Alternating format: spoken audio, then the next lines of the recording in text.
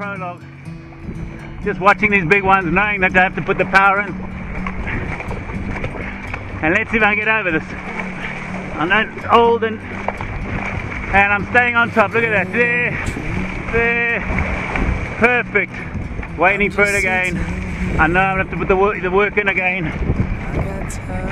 Waiting for it. There's always another one behind. Waiting for it. There it is. Following the next one. Making sure I'm on top. Relaxing. Open my bailer. Take the water out. Close it before I know I'm going to put a hard dash in. Here we go again. Hard work. Low cadence and powerful. That's it. Leaning right back. To double up. So I'll wait for the next one.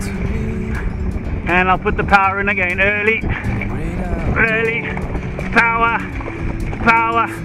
And then rest. And off we go. Look at that. Staying on top. Watching the waves. Isn't it so magnificent? I'm just using it. Two more strokes, it's all you need. Over the next one. Following it again. Look at that. This is world class. Finishes over there. I'm to do a re-entry off this one. Won't have to pull too hard to get it. Jump over that one. Over the next. Over the next. Over the next. What a pleasure.